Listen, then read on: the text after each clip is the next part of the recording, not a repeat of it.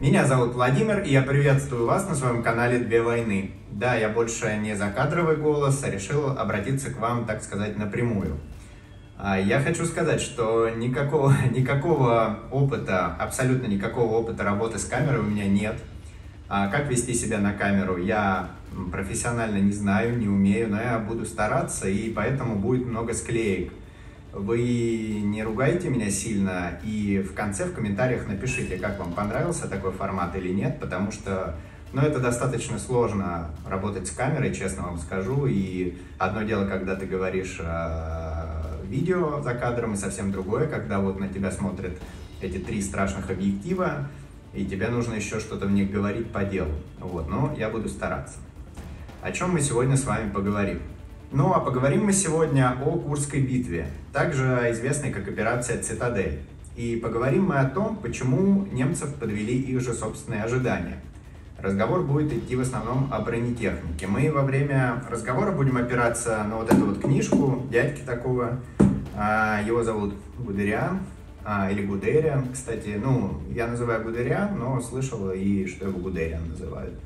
А, значит, этот товарищ а, является одним из прародителей Блицкрига. Вот. Именно он разбил э, ту, то представление, которое было у немцев о танках. То есть э, там такая ситуация была. Германский генеральный штаб, уже Гитлер там был у власти, все эти товарищи были уже давно у власти. И э, там была такая ситуация, то что а, немецкие же генералы воспринимали танки чисто как а, средство поддержки пехоты. То есть как а, то, что мы видели, там идут танки, прорывают линии обороны, танки устраивают котлы, это все немцы не представляли. Они представляли танки исключительно как единицу поддержки пехоты. Ну, как было там в Первую мировую, то есть пушка на повозке, там артиллерия на гусеницах, так они это и видели. Именно, именно Гудериан придумал концепцию Блицкрига, именно Гудериан предложил использовать танки как решающую силу. Поэтому его можно назвать смело прародителем немецкого танкового Блицкрига. И, кстати, те самые консервативные генералы, которые э, не оправдывали ожидания от танков, они э, спорили с ним. Вот, спорили, говорили, что его идеи это фантастика, посмеивались даже, вот, ну, такая, в общем, история, но мы отвлеклись. Итак, к операции «Цитадель» немцы готовились очень основательно. Ударами с севера и юга на Курск Вермахт должен был срезать прогиб линии фронта глубиной до полутора сотен километров и шириной до 200, окружить советские войска и положить начало новому наступлению 43 года. Важнейшую роль в замысле играли подвижные танковые соединения, которые усилили последними новинками немецкого танкостроения в надежде на абсолютное техническое превосходство. Но новые танки ИСАУ не смогли сыграть решающей роли в начавшихся сражениях и, по сути, не оправдали возлагаемых на них надежд.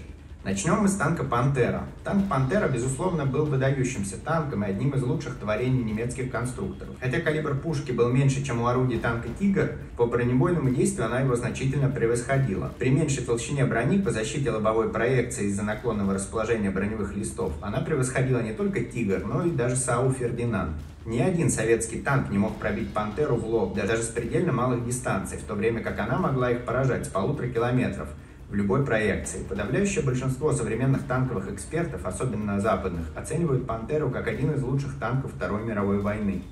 Канал National Geographic вообще его называет идеальным танком, опередившим свое время. Разумеется, в предстоящем наступлении «Цитадель» «Пантеры» должны были сыграть одну из самых ключевых э, ролей.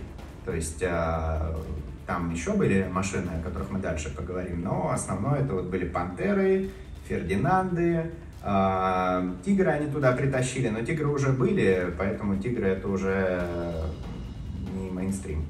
Короче, по пантерам, значит, э, в чем была проблема? Проблема, во-первых, танки имели болячки детские, их там дорабатывали, вот, э, но это доработка времени занимает как бы генеральный штаб намекал Гитлеру, что, мол, давай уже, на, ну, пора, потому что они-то прекрасно понимали, у немцев была хорошая разведка на момент того времени, 43 год, это еще немецкая авиация не потеряла свой контроль полный в небе.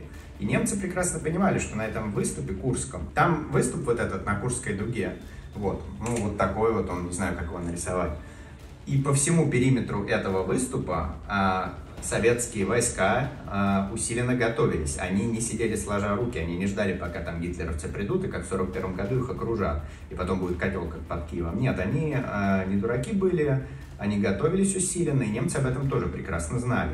Поэтому получалось так, что генеральный штаб как бы пинал Гитлера, что, мол, давай мы либо наступаем, либо не наступаем, там разные концепции предлагал.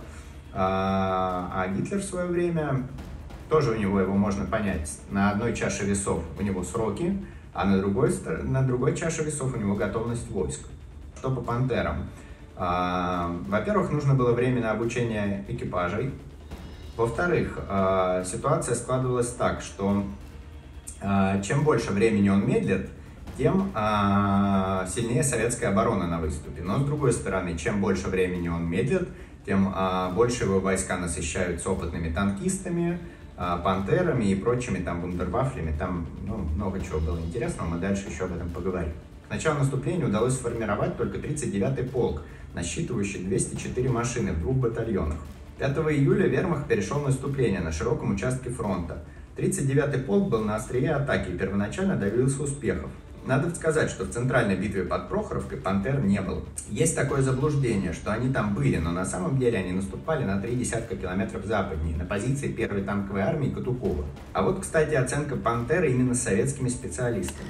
Наиболее современным немецким тяжелым танком следует считать танк «Пантера», который, при общих его технических и конструктивных недостатках, обладает мощным вооружением с совершенной оптикой, сильной броневой защитой лобовой части танка и башни, хорошей маневренностью и удовлетворительной проходимостью, современной трансмиссией.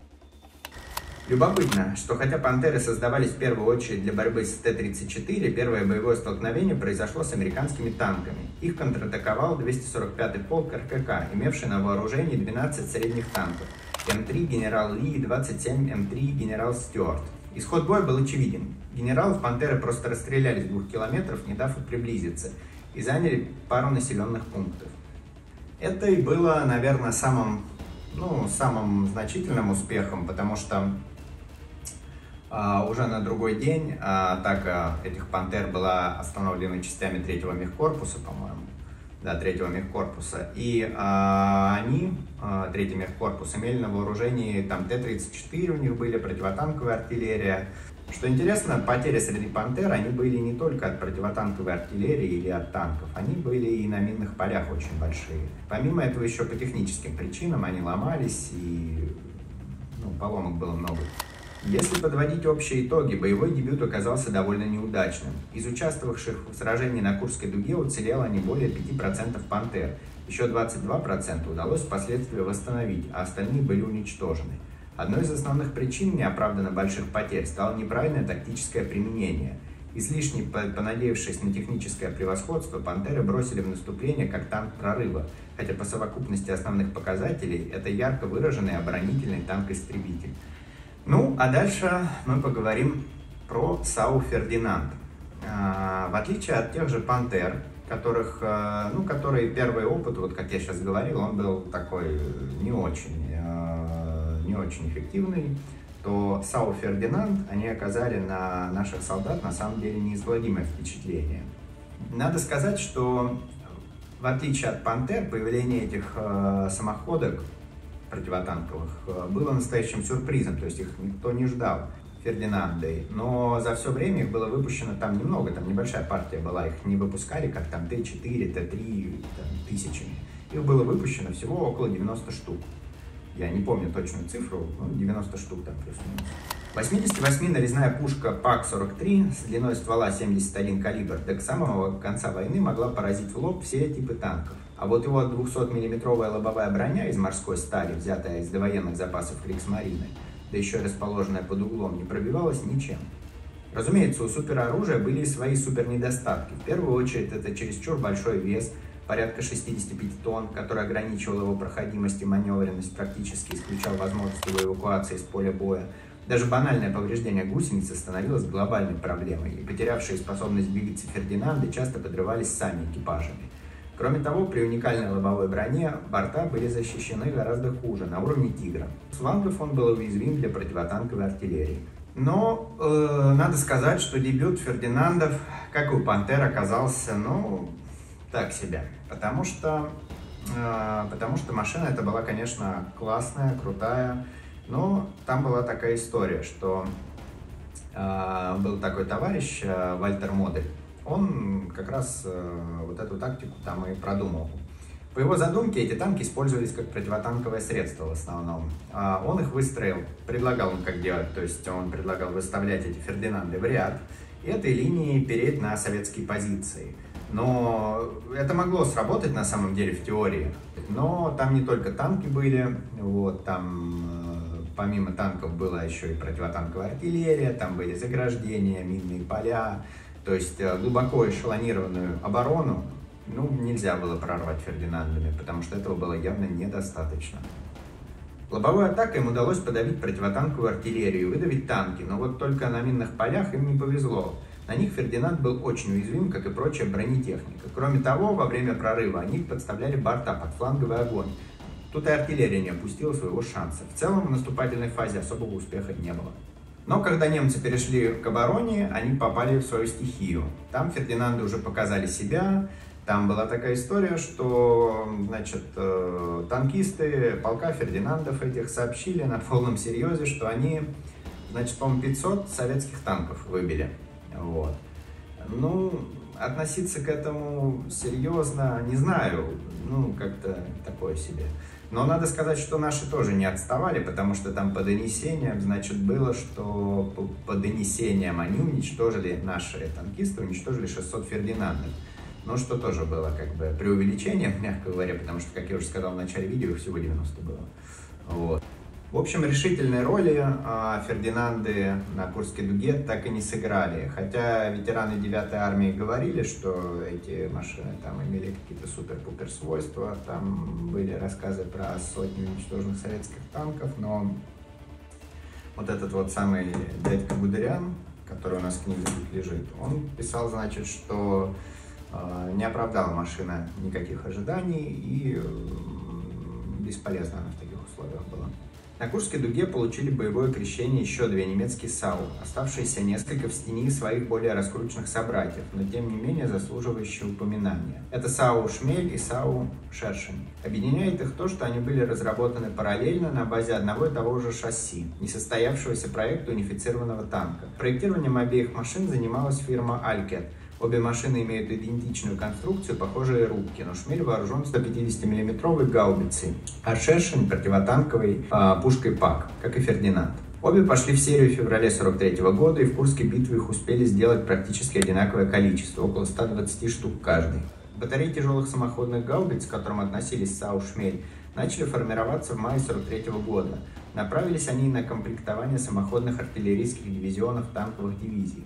Поскольку в состав батареи входило всего 6 машин, комплектация частей шла довольно быстро, и к началу операции «Цитадель» они находились в 10 соединениях, так что боевое применение оказалось довольно широким.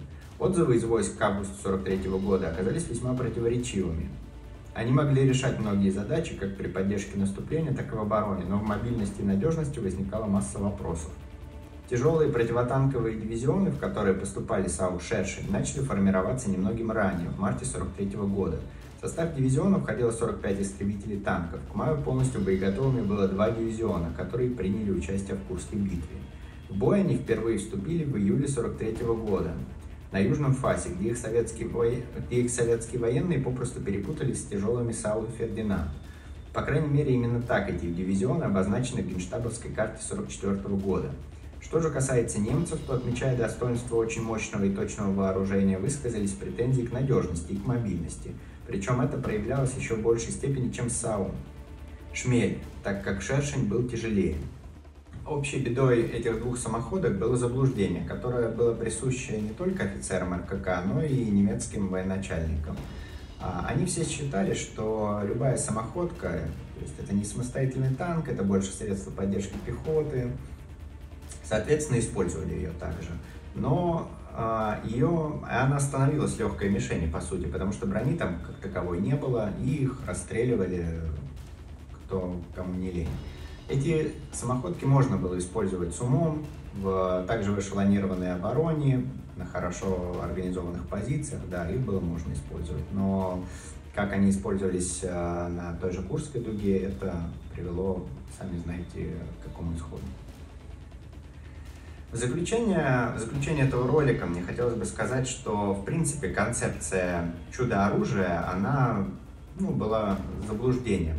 Хоть и был такой товарищ Альберт Шпеер, он сообщал, что, цитата даже у него есть такая, мол, «Э, война будет закончена чудо-оружием. На самом, а, на самом деле это все оказалось не больше, чем раздутый миф для пропаганды. Все мы видели, что было с Маусом, все мы видели, э, на что Фау-2, там Фау вообще в целом ракеты, на что они были способны. Вот, соответственно, сама эта концепция, она оказалась недееспособной. Ну а ролик я хочу закончить цитатой Гудериана. В результате провала наступления «Цитадель» мы потерпели решительное поражение. Бронетанковые войска, пополненные с таким большим трудом, из-за больших потерь в людях и технике, на долгое время были выведены из строя. Их своевременное восстановление для ведения оборонительных действий на Восточном фронте, а также для организации обороны на Западе на случай десанта, который союзники грозились высадить следующей весной, было поставлено под вопрос. Само собой разумеется, русские поспешили использовать свой успех. И уже больше на Восточном фронте не было спокойных дней. Инициатива полностью перешла к противнику. А как вы считаете, почему была проиграна Курская битва? Свое мнение пишите в комментарии, ставьте лайк и подписывайтесь на мой канал, все это очень поможет его продвижению. И пишите, как вам формат с лицом, мне это правда интересно и мне важно ваше мнение.